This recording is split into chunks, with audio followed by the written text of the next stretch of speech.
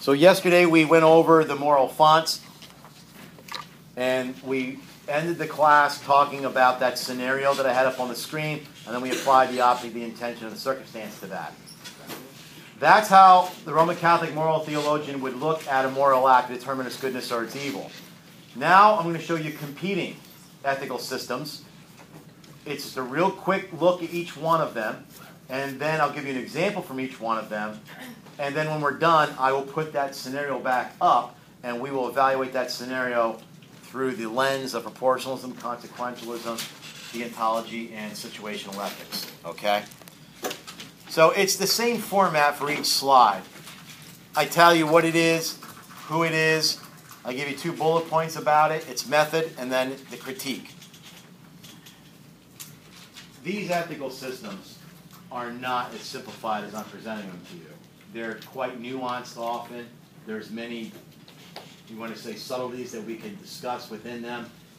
And there are other people besides the name I put up there. But I tried to give you the person who was probably at least more prominently known to have uh, either you know held it or advanced it, and I'm giving you what I would say is a simple approach to each system. So proportionalism it weighs out the goods and necessary evils. So think of a you know think of a scale. They're going to put the goods and the evils on the scale, and whichever one drops down, they're going to say that's your best course of action. Okay, and Jeremy Bentham was one of the two proponents, the two major ones anyway. So what they're really after is maximum happiness. Now they're not defining happiness, okay? It's really almost understood as what you think it to be. You know, what will bring you pleasure. It's, they probably would call it secular happiness. And it's looking for everybody affected, and you know they're trying to maximize pleasure and minimize pain. So that's uh, actually a, a hedonistic approach.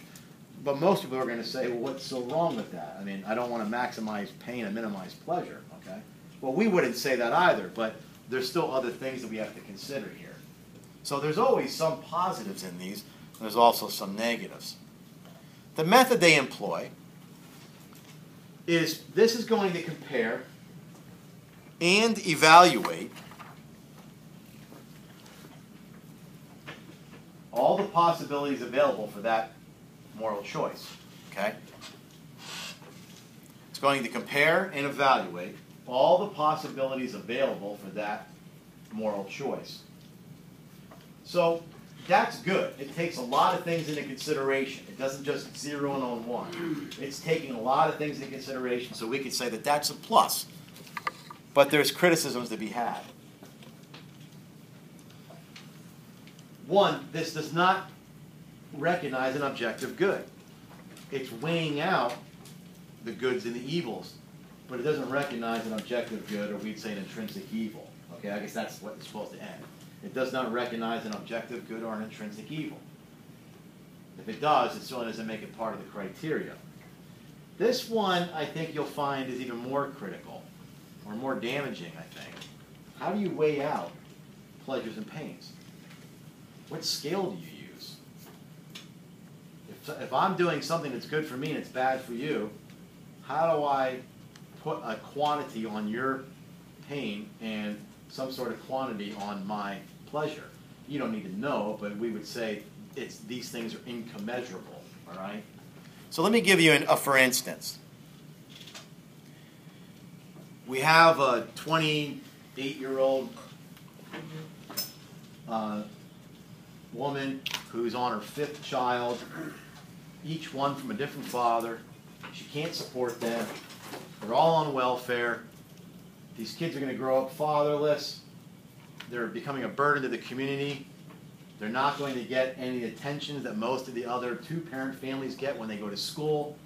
So the state steps in and says, this woman obviously cannot control herself. We're going to force sterilize her. All right? Now, they would weigh all that out. They would say, well, what are the goods that are happening here? Well, the goods are is you know, no more children that are going to be running amok, um, no more burden on society, and it'll go down the list. You can think of it. And then obviously the burden is, or the pain will be hers. She loses uh, autonomy or sexuality. So they're going to weigh it out and they're going to say, you know, it is a pain and burden for her, but sorry, the proportion goes to the good that's going to be done for the community and the children. So proportionalists would say that's a good way to go with this, all right? Um, you'll see after the, after the next ethical system, I'm gonna show you, you know, why even further, some of that's hard to really come up with such clear, uh, what do you say, consequences, okay? Yes? Can you repeat method?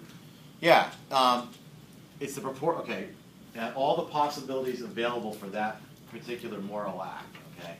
Just for that one particular moral act. Okay, the next one is consequentialism. These are often put together sometimes because they are both what they call utilitarian ethics. I'm offering to them separately because there is some nuance between them, all right? The proponent for this is St. Oh John Stuart Mill. I don't even know where that came from. The ethic states that we're going to determine what is right in any particular act just by how good the consequences are. Okay? So this one's almost like a like a like a crass, you know, what good comes out of it. If it's good, then it really doesn't matter how we do it. You'll see that's sort of, well, not sort of, it is a way to say it. So their goals are to maximize the good consequences, and if you've ever heard the phrase "the end justifies the means," this is it. So uh, you know, a person may ask themselves, you know, I really didn't study for the test. This is a really big, you know, uh, percentage of my grade. If I cheat on this test, I know cheating's wrong, but I'm going to get a good grade. It's going to get me scholarship to college. Okay, those are good things. You know, th- those are good consequences. So I'm not going to really be concerned with how I got those. Okay? That's the end justifies the means. The method they would employ, if they look at a particular act, is they say, let's, let's not consider the morality of the means. We're not worried if we have to lie to get what we want. We're not worried if we have to cheat. I mean, you could probably be extreme and say we're not worried if we have to kill somebody to get what we need, okay? We have to rob somebody. We're going to look at the happiness that the result is going to produce. And if it's a good thing, then we're going to call that licit, all right? Then we're going to call that licit. Now, the criticisms of this, first of all, is any evil may be employed to have a good result. You're breaking the first principle of morality do good and avoid evil. And if you're a Christian, this is absolutely out. The Bible's very clear. You may never do evil that good may come of it. So even though by you staying your ground and not cheating, getting a bad grade, and maybe losing scholarship money, that was still a good, even though it did bring some pain. We're not weighing it out. We're not saying the end justifies the means. This second one is probably, I think, one of the uh, easier targets that you can do for showing its weakness. How can you predict every future consequence? You know, oftentimes in ethics, you can say that when we're making moral choices, it's throwing a rock in the pond. Those ripples go all over, and you don't always know where they're going to go. So there's no way you can literally tell me what are all the consequences that are going to come out of this act. Because if you're saying the end justifies the means, as long as it is a good consequence, then you're going to do it. Well, how do you know that? I'll talk more about that in a second. The last one is they don't even really talk about the intention. Doesn't matter. You are getting a good grade. The end's good. All right, so you do it. I'll give you an example, and then I'll give you something that ties consequentialism and proportionalism together. Uh, Mr. Miller, what was the first line say right there? I can't read. Any means? Uh, the second part of the first one, the criticisms. This one? Yeah. It is not always possible to predict future consequences. Yeah, it must be hard for you to see over there. It is not always possible to predict future consequences. So here would be a consequentialist position. Let's say that we capture an ISIS combatant, and we're relatively sure that he has information that will save American and ally lives. So we are going to torture him slow and methodically until he gives us the information we want. Is torture and dehumanizing an individual and evil? Yes, but we're not concerned with that. According to consequentialism, we're really looking at what are the consequences, and the consequences are we might get information that's going to help save lives. All right. Um, part of the problem with that is, and let's you know, let's talk about future consequences, is you're setting a stage where the other person will now be allowed to do the same. Now you might reply, well, they already do. All right. But let's use a different example. Let's say that this was, you know, um, one of the wars, you know, with, with Iraq. So when Iraqi captures our guys, how do we know what effect that's going to have? Plus, let's not pretend that it doesn't affect the image and also the character of our nation. How far that ripple going to go? Now we're a nation that employs any means to get to the ends that we want. So there's really no way, you know, in other words, you don't know all the consequences. You don't know how's that going to play out in history. I'll give you a real life scenario, and I don't remember the town. I'm pretty sure it was South America. But I remember reading this, and I was so upset that I didn't save it somewhere because I've been searching for it every so often, can't find it. Here's the deal there was this village in South America, and they were, it was a very poor village, and the main uh, means of them sustaining their lives was by fishing. They would eat fish, but they would also sell it in the markets.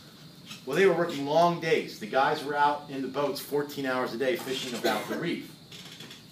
What happens was outside uh, nations, environmentalists realized these people were depleting um, the fish population and also endangering the reef.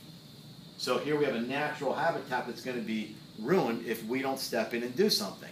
So they decided the consequence that they wanted was them to stop fishing, but yet have a better um, way of living. So what they did was they set them up as pineapple plantation owners. They gave each family a plot, started them out. It turned out that instead of working 14 hours a day, these guys were working about nine hours a day. That's five hours less. It turns out they actually tripled their income. Isn't that a good outcome? Tripled their outcome, tripled their income, and they're working five hours less a day. But see, they didn't they don't think like Western capitalists. Most of us would think they're going to take the money and the extra time and invest it and grow their plantations. Turns out they were just quite content with how they were always living. And now they had five spare, spare hours a day to do something leisurely. Guess what they did with their leisure time? They fished. And went right back to depleting the reef again. Okay, now, is there anything evil that was redundant? No, that's not the point. My point is the illustration is you cannot predict all the future consequences of an action. So if you're making an ethical decision determined by the consequence, how do you really know that you've got it right? You really don't. Okay? You really don't. Okay. Deontology. This is uh, Immanuel Kant. For Immanuel Kant, everything was the will. Okay?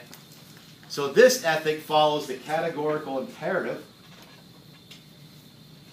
which means you have to discover a rule that's true always. Has anybody heard about categorical imperatives? Anybody? Second period was upset. Len didn't know. They kept saying to let him down. Um, an imperative is do this. You know, get up, put it away. Okay, as opposed to hypothetical as well, you can lose weight if you eat right. That kind of thing. So categorical is everywhere and always. Imperative is you know a command. So what you don't need to write this down, but Kant's categorical imperative was I cannot will something unless I can will it universally. So um, is it good? Is, can I lie? Well, no, because if I lie, then I have to say that everybody could lie, and that would just distort truth across society. and We'd have no basis for communication. So that became um, a, a duty. You cannot lie. All right. A couple bullet points are underneath it are it really focuses on the motive. Do the right thing. And deontology is duty based. That's literally what the word deon, you don't need to know it, but deon in Greek means duty. So this is a duty based ethic. You figure out what the duty is, you adhere to it. Okay? So the method they employ, there's only one more after this. If you want your act to be licit, you determine your duty or test it by asking whether that could be universally held. So cheating would be wrong because if you cheat, then everybody should be able to cheat, and everybody cheats. There's zero integrity in, a, in an assessment. Okay. So that's a good part. I mean, it's a good part that they're at least looking at the universality of a particular truth. But there's criticisms that bring, brought bear on this it's really focusing on what you do, not what one should be. So we're not talking about character ethics here, like virtue ethics. We're just simply talking about following a rule or a duty, okay? So the priority is really about doing what's right, not what's good. We're not talking about goods here. A good and a right are not synonyms. Probably the easiest criticism to bring to bear on this is what happens if you have conflicting duties? What happens if you are, say, in the service and you have to follow commands? One of your duties is is that it's important that a superior officer is obeyed because if, if you don't obey orders, then the whole system and hierarchy is going to collapse. So that's one of your universal duties. A categorical imperative would be you must follow orders. What if your superior officer gives you an order to lie?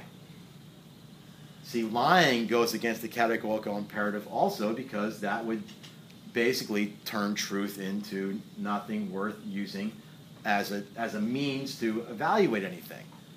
So you have a conflicting duty here, and you don't know how to resolve it. You're probably going to fall back into proportionalism and try to do the one that's going to create the least havoc. But that's one of the issues. Okay? So, what would be an example of duty? All right, let's see who I can pick on today. Owen. Owen's on his front porch. He sees down the street this 10 year old being chased by this big, hairy, mean guy with a knife. The kid's getting away. The kid gets behind the trees, comes up onto the porch, and says, Mr. Double, you got to hide me. He says, Get in the house. The guy's following, but he wasn't sure which house he went into. He shows up on the porch, looks at Owen, and says, Did that kid come in here because I'm going to kill him? What would a deontologist have to say? Not what you'd want to say. What did the deontologist say? He's in there. Because you can't lie. All right? The, the example they often use would be like if you're hiding a Jew in World War II. The deontologist says, I can't lie, because if I lied, I have to universalize that. And I can't say it's good for everybody to lie. You might be thinking, but in this situation, the deontologist doesn't look at the situation. The deontologist looks at the duty. Once that duty has been determined and it's universal, then that's it. Nothing else needs to be considered. All right. By the way, just as an aside, what do you think the Catholic Church would say with the three fonts? What do you think in that case we would say is the what Owen is doing? What is the what that he's doing? Anybody want to guess? The kid's on the porch. He hides him in the house. The guy comes after him looking for the guy. Owen says he's The object? Well, I'm asking you though, what is the object? Do you know? Oh. What would the object be? Like, If you say, and he, and he says, he's not in here. Oh, Owen says, he's not in here. He's protecting. Okay, so he's, the object is, he's protecting the, the young kid. All right? Now, you might say, well, that's a play in semantics or such. We could probably try to go back and forth as to define lying. Lying is typically known as a mental reservation, but there's other aspects around lying. Like, one aspect to consider is whether or not the other person has any right to a truth. All right? So you might say, well, what could that be? Well, maybe somebody asked me something very personal about my wife or my daughter, and maybe they even try to force me to answer. I could lie because I know they have no right to that truth. They're not an authority over me, okay? So, in that sense, I know that sounds like it's semantics, but yes. Alright, so I know you're saying in this situation, you should, you have to tell them, Well, that's what the deontologist would Yeah. say, yes. but, but could you just say, I'm, I don't wanna tell you this information, Well, but see, your duty is to tell the truth. but you're not saying a lie, you're saying you don't wanna tell them, which, Well, but they're asking you a flat out question. Is this child in there? You know the answer. Now, I'm not, see, you're, you're saying, you're probably trying to figure out what would you do in a situation, but a deontologist wouldn't think like that. A deontologist is gonna say, what is my duty here? My duty is, the categorical imperative is to tell the truth, I have to tell the truth, okay? That's how they'd approach it. Now, that might be a little bit of craft, there's nuances here, okay? But I'm just trying to show you a general idea of what they say. Okay, the last one, and then after this, we're just going to look at the scenario. is situational ethics. This is Joseph Fletcher. It's rather new, not maybe the application of this, but the development of it. He actually wrote a book that was titled just that, Situation Ethics. It's motivated solely by love. And you take all the particular circumstances of the situation into account. You know, this is probably the most popular one. Part of the goal here is, is that most people don't spend time evaluating an act. They're all over the board. Sometimes they're consequentialist, sometimes they're proportionalist, sometimes, most of the times, they're situational ethicists, okay? Sometimes, if they're devout, they'll understand what an intrinsic evil is. So you have to look at all the circumstances. Now, what is good about that? What's good about it is it's not just looking at the duty; it's taking all the situation. So, like you said, Ann, about there's certain circumstances here. Well, Joseph Fletcher is going to say that's exactly my point. You know, you have to take situation um, into account. A couple bullet points is it focuses on the uniqueness of each situation. They're all different, which means how can you know that they're all going to have the same application? So we have to have flexible guidelines, not rigid principles. Lying's bad, says Joseph Fletcher. But it's not rigid. You've got to be flexible with it as a principle, depending on the situation. In the situation they're on your porch, that would be okay. Okay? So, flexible guidelines rather than rigid principles. The method that they use, if I'm going to decide on an action, I will follow these general guidelines rather than those principles, and my goal is to achieve the well being of others. So there would be no question whatsoever what to do if Owen was on his porch and that guy came and said he's in here. Owen's going to say, in this situation, lying is fine, even though we've defined it as not lying. They, they said it's not even, we don't even really look at that. And the well being of that individual, and maybe in the community, it's best that I just do it, all right? Um, I'm going to give you a real story, and I'm going to give you, well, oh, I'm not done yet. I got to give you the criticisms. Getting ahead of myself. Here are the three criticisms. And I, I just did this last night, so I, sometimes, you know, I think of this, but I, I didn't really have thought of a better way to put it, so I must have nailed it, at least in my mind for today. If love is the motivation, then this is going to be a consequentialist type ethics, and it is. Joseph Fletcher recognized that. There's going to be times where there's no doubt. Even though we're doing it for love, the end justifies the means. You know, for the love of humanity, which I want to save this young child, no matter what I do, saves him. Okay? One of the other problems is what exactly is the definition of love here?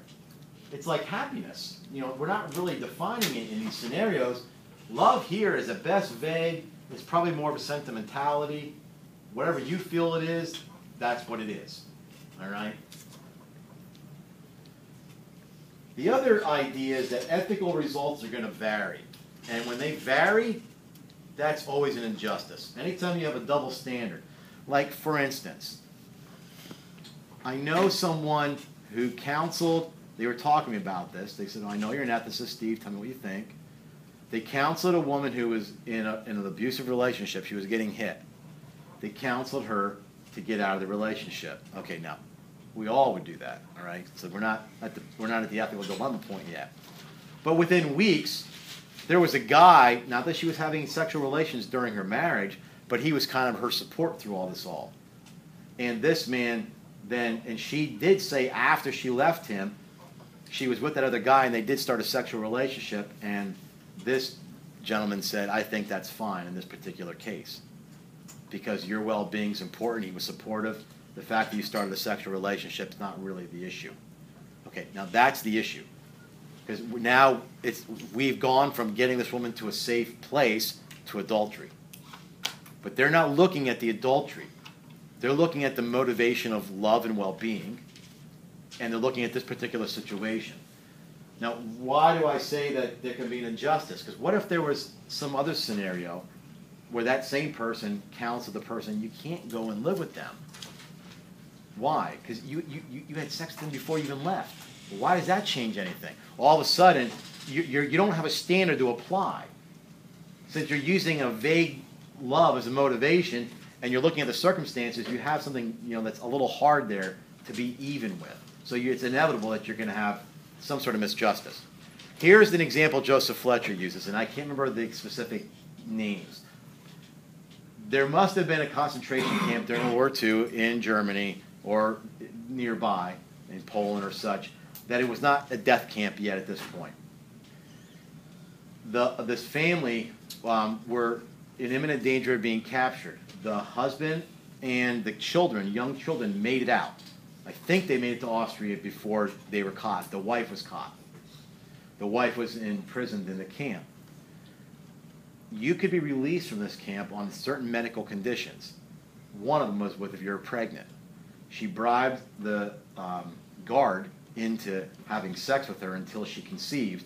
Once her conception was uh, identified, then she was released or put on lighter, you know, security. She managed to escape, cross the border, and once again meet up with her family. And she explained to her husband what she did, and he forgave her because of this. So Joseph Fletcher says, in that situation, adultery is wrong, but that's a rigid principle. We're going to be flexible. Given the circumstances and the situation, it seems like that was the right thing to do. Okay. What would be the object of the act according to the Catholic Church in that situation? Get back to her family. No, that would be her intention.